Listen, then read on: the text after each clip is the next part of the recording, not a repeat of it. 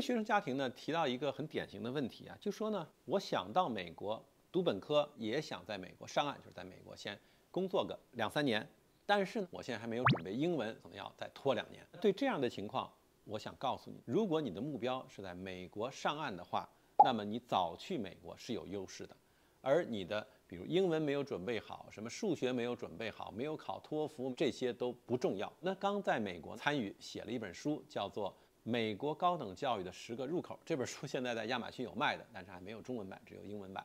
在这里边就分门别类的讲了十个进入美国高等教育这个体系的入口。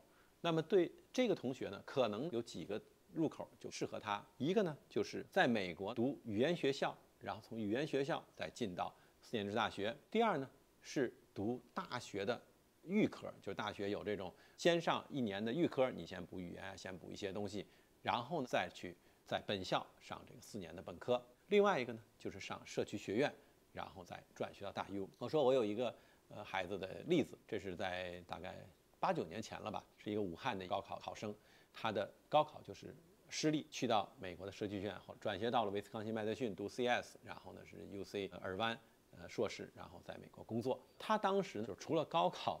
成绩差以外呢，英语成绩也是很差的。他去的这个学校有一个英语的预备班，这个预备班一共分五级，他呢是第二级。第一级就是你只会 A B C，这叫第一级。所以他呢就从这个二级一直上到五级，然后才去上正式大学课程。所以他在社区学院待了两年半，但是后来呢转学转得非常好，当时拿到了呃 U C 圣地亚哥和威斯康星麦迪逊的录取。所以我就想告诉你呢，如果你的愿景，你的目标是要去美国留学，在美国上岸的话，即使现在没有太多的准备，你的英文也是可以往前走的。在美国的环境，你的准备的速度可能会更快。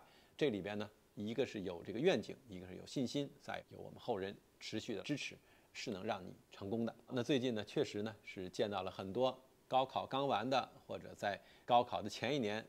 有点呃畏惧、绝望的，还有就是进了中国的大一的这些学生。那么我想告诉你呢，如果你的愿景是要到美国留学的话，你早去比较有利。那么早去这些路都是通的。好的，那今天就讲到这儿。希望今天讲内容对一些同学呢、一些家庭能够有所帮助。如果觉得今天讲内容还不错，也能帮助到你的同学、朋友、室友和家人，可以分享给他们。可能你的一次分享就能改变他们的留学道路，甚至人生轨迹。